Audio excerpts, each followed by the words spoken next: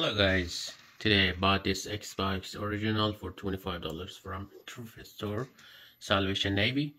And when I turn it on, it turns on, hard drive starts to work and fan is working, everything's working but no picture. I tried the cable, everything on this Xbox and everything's working, the cables are okay so when I press the eject button, see, start blinking the LED ring, but no pictures.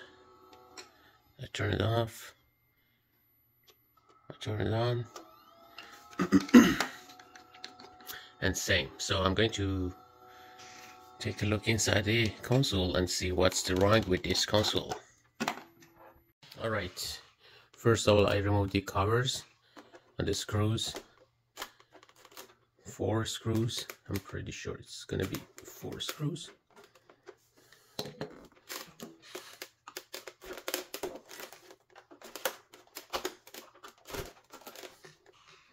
And with the proper screwdriver I start to remove the screws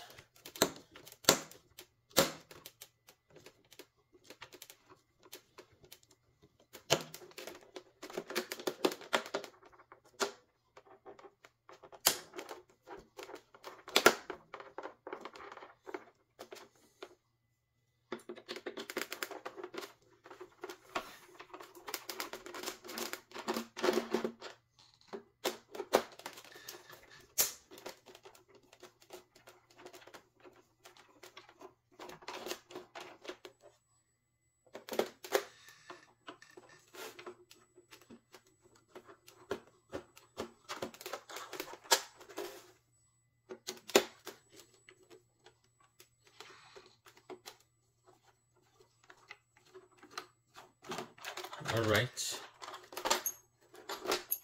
Four line screws. Then with a flat screwdriver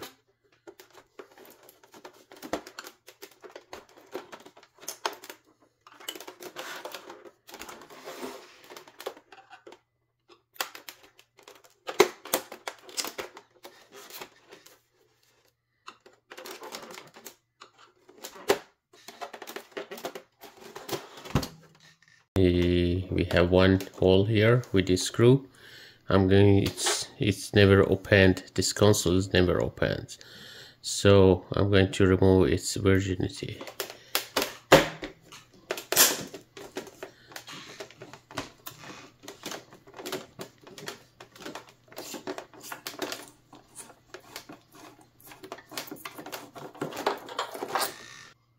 And also we have one more hole here.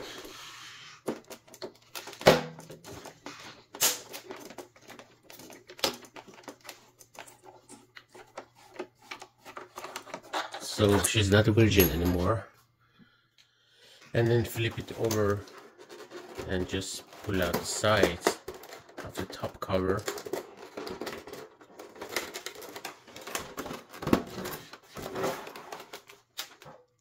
With a flat screwdriver.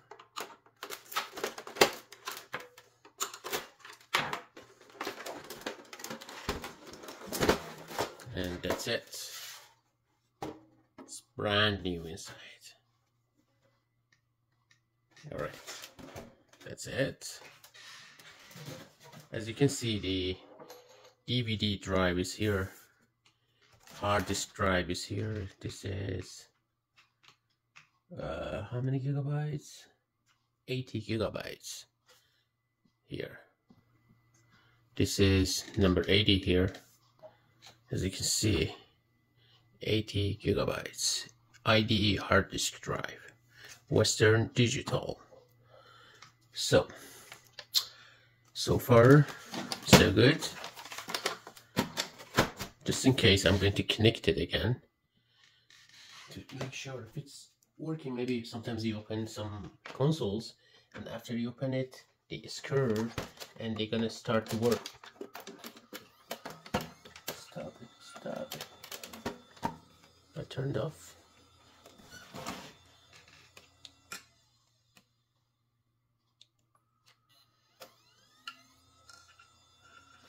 Disk drive is working. DVD drive is not working. See?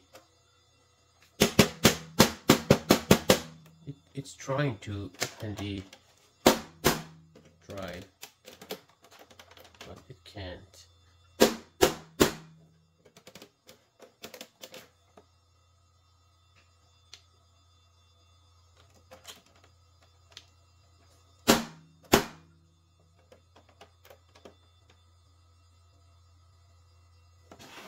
Okay, I turn it off. I remove the cable. Then I have to remove the other parts like DVD drive. Okay, I'm going to remove this part, the top part. So, so a few screws. Here, one of them is here.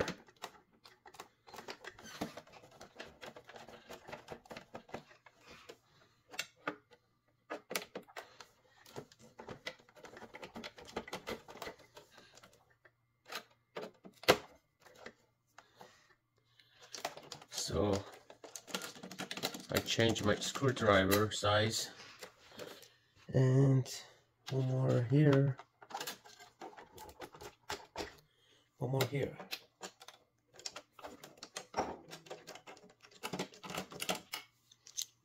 Um anything else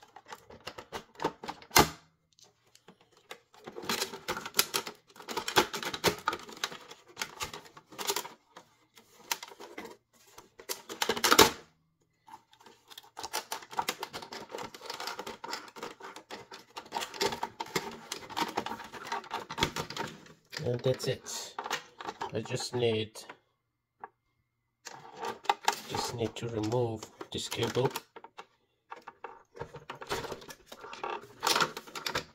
And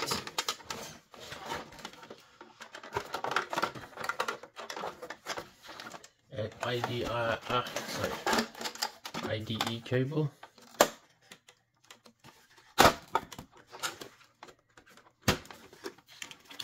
right.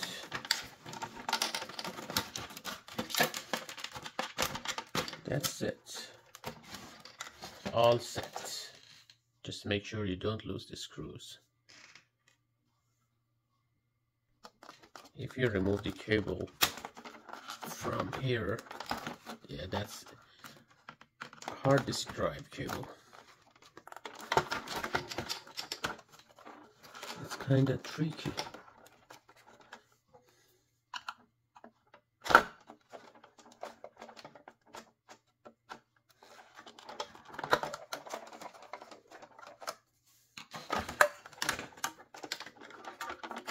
then you can work on it easier. So everything looks okay so far. Maybe I need to do some cleaning up. And I have to check the capacitors. Oh this one this one. As you can see it's kind of bumped. This one this one.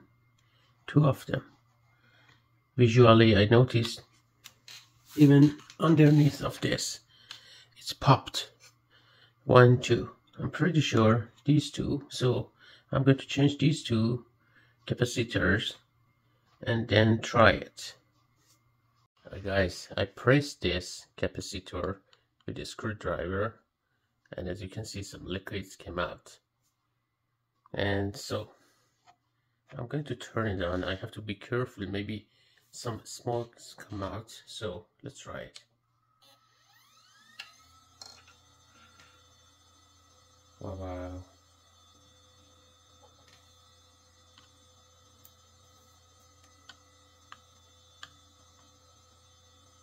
yeah.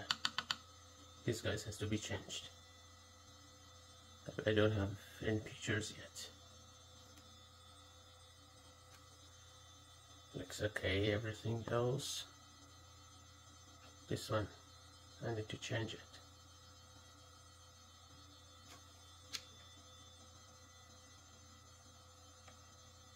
Alright I turn it off.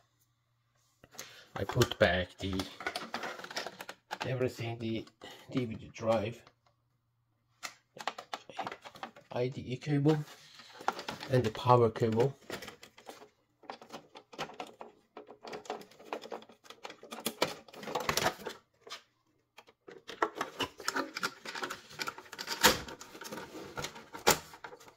okay let's try it I press the eject button it's not working all right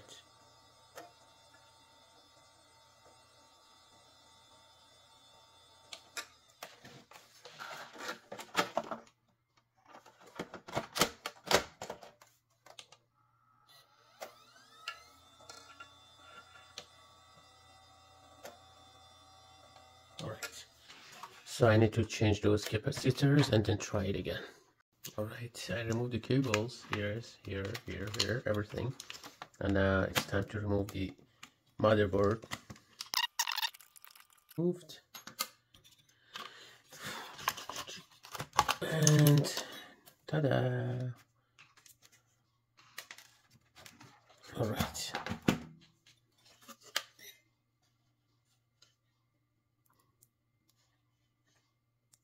Board looks okay.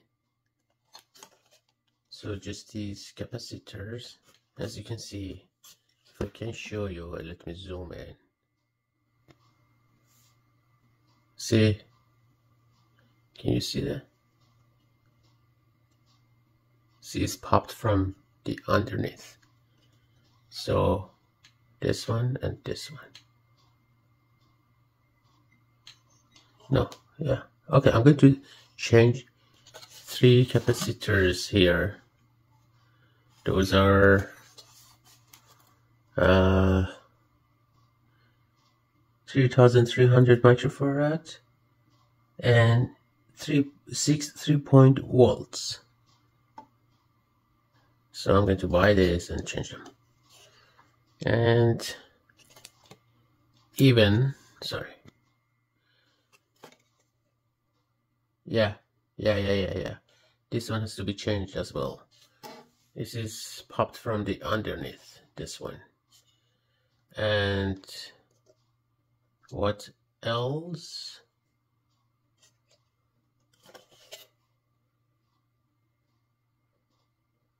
This is, this looks okay. Maybe this one as well. So we have three capacitors here for sure. And this one and this one. These are very cheap. You can buy it from Amazon. And that's it.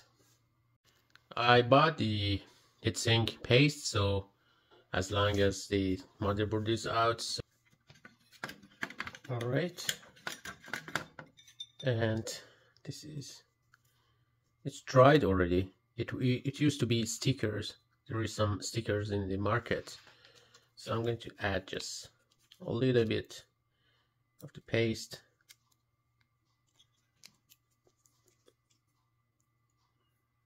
And that's it. I put it back and check it. Yeah we're good. I clean it up the rest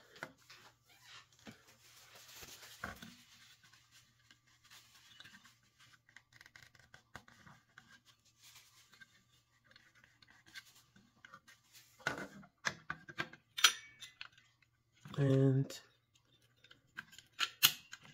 I put back the sink uh, and it's sink and this one I tried to remove it I couldn't so I decided just leave it. Also I bought capacitors. The original capacitors uh, voltage is 6.3 volts. So this one is 16 volts. It's okay. Uh, if you don't have to put it lower than 6.3 volts Oh, higher is okay. So I'm going to change these three capacitors first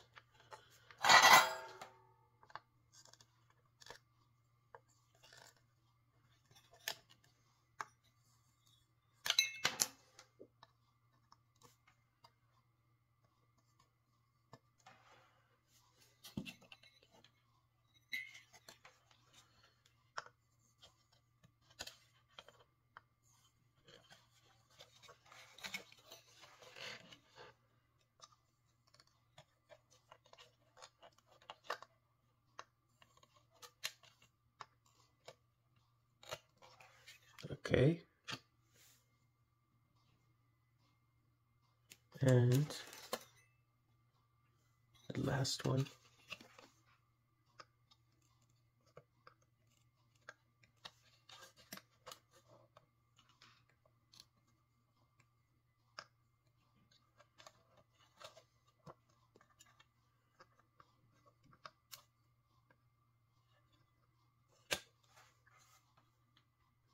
as you can see the top of the capacitor is bumped popped out.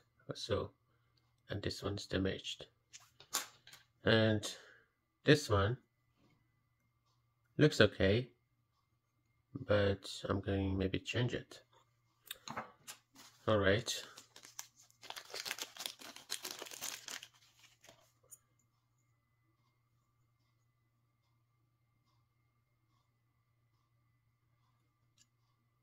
okay.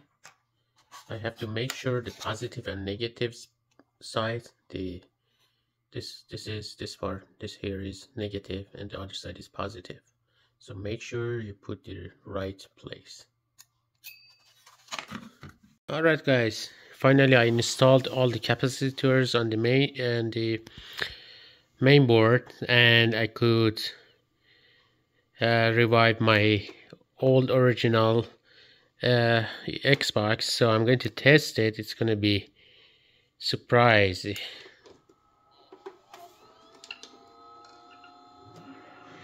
yes.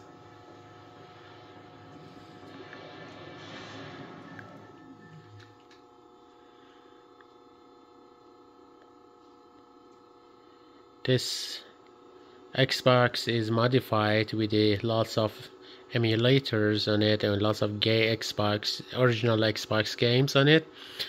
And I'm waiting for the boot menu. Alright we're good now. Thank you for watching guys. Please let me know if you have any questions. Most of the problem of the X original Xbox is changing the capacitors. Otherwise maybe sometimes can't read the BIOS or graphic chipset video chipset or other stuff but most of them eh, you can fix it with the changing the capacitors on the main board and sometimes on the uh, power supply part thank you for watching. Have a good day